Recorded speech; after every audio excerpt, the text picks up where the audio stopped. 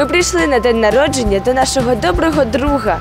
Йому вже 55 років, але з ним завжди весело і цікаво.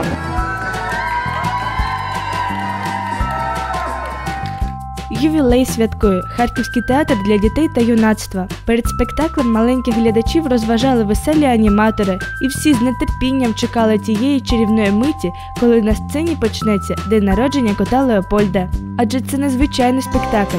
Ним харківський тюз пишається особливо. Поставив його режисер Володимир Антонов. Что бы я хотел сделать в самом начале, это вас всех поздравить с днем рождения нашего общего, самого главного театра в стране. Это театра для детей и юношей. Поздравляю! А який спектакль у вас найстарший? Ну, тот, который сегодня будут смотреть зрители. День рождения кота Леопольда. В шестнадцатом году ему исполняется 30 лет. 30. Его очень любят зрители. И вот сегодня вы увидите, у нас почти все билеты проданы. Поэтому э, вы увидите, что он такой же задорный, как был 30 лет, и его сегодня также любят уже современные дети, как те дети, которые приходили на премьеру этого спектакля. Любовь одна и та же к, э, к этому замечательному спектаклю, и поэтому это наш талисманчик такой на сегодняшний день. Ребята, давайте жить! Я знайома майже з усіма акторами харківського тюзу. Це незвичайні люди. Вони дарують нам казку, вони переносять нас у інший світ. Вони дорослі, але в душі діти, як і ми. Здравствуйте, кого вы играли э, сегодня в спектакле? Я играла серого мышонка.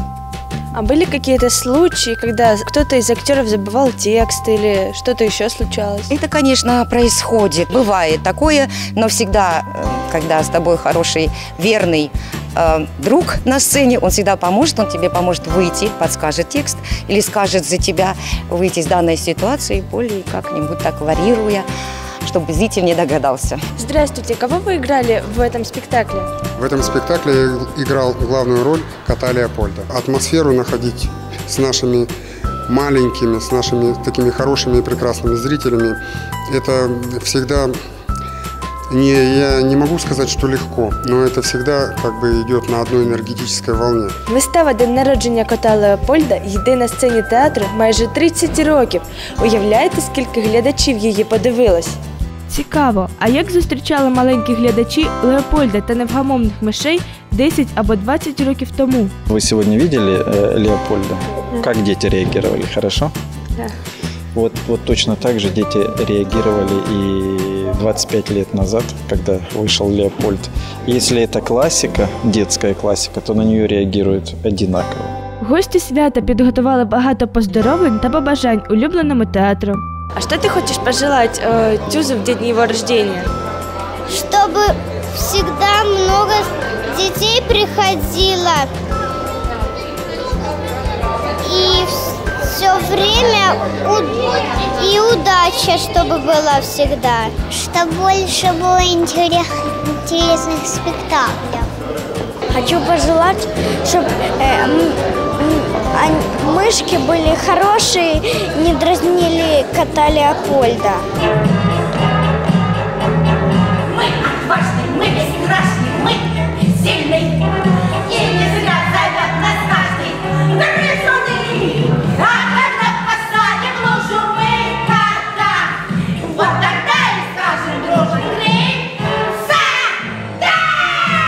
Я хочу, чтобы ставили добрые спектакли. Сказка должна заканчиваться победой добра, добром. И чтобы так было в жизни. Позабудь все, что было. Я давно сказать хотел, что на драку глупо тратить силу. Нам она нужна для добрых дел. Ярче солнце светит, и меньше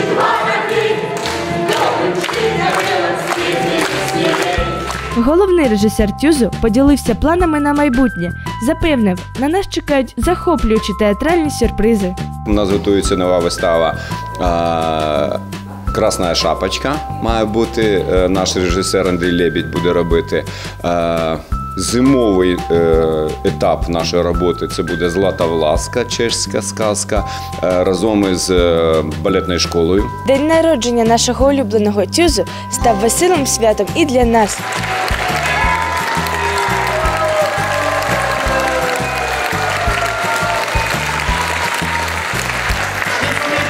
Нет зрителя, нет театра. Вы наш самый дорогой друг. До новых встреч! Тож до наступної зустрічі у Харківському театрі для дітей та юнацтва. Настя Садома, Тіп-Топ новини.